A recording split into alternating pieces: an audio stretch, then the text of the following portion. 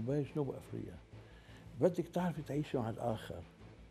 نحن وجنوب أفريقيا عم نعطي مثال وقدوة للعالمين. بكل أسف بغير بلدان بعدهم هلأ إن كان بأوروبا أو ب ب ب ب بأفريقيا أو بالشرق الأقصى أو ب أو بالولايات المتحدة بكل ما عم بيعرفوا يعيشوا مع الآخر. لذلك نحن بيهمنا كثير يعني هال هال هالحياة بجنوب أفريقيا. نحن بهمنا ومش بس نحن المسلمين بهمهم إنه نضلنا محافظين نحن على هالتوازن بلبنان.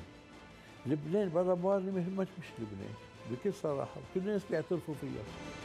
ولأن لبنان الرسالة لا يمكن أن يستمر من دون التوازن بين جناحيه المسلم والمسيحي تحث المؤسسة المارونية للانتشار اللبنانيين المنتشرين على تسجيل قيود في السفارات وتعمل على مساعدة المتحذرين من أصل لبناني على استعادة جنسيتهم المؤسسة آه، استمزجت واستخرجت من الداتا الموجودة عندها 782 اسم هاجروا من لبنان إلى آه، جنوب أفريقيا اختاروا الجنسية اللبنانية ولكن الدولة اللبنانية لم تبلغهم أنه صاروا لبنانيين ومات قسم كبير منهم.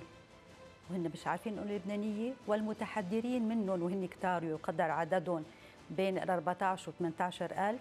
كمان بيجهلوا إنه هن لهم حق بالجنسية اللبنانية لأنه أبائهم وأجدادهم هن لبنانيين المؤسسة ستفتتح مكتب في أفريقيا الجنوبية للعمل مع السفارة والكنيسة المارونية على تسهيل استعادة المتحدرين لجنسيتهم اللبنانية الأسماء هيدي رح تكون مدرجة على المواقع الإلكترونية للسفارة وللكنيسة مع اسم البلدة ورقم سجل كل شخص.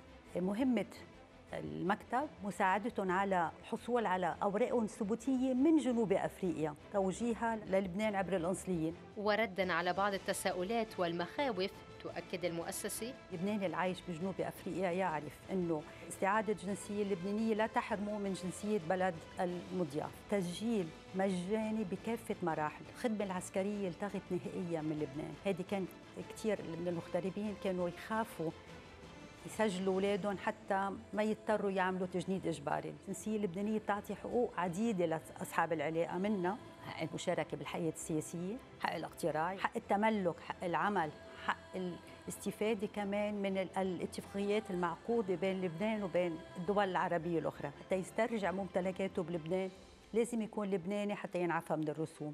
يعني ما في خسارة من استعادة الجنسية اللبنانية خاصة أنه ما بتأثر على جنسية بلد إقامته.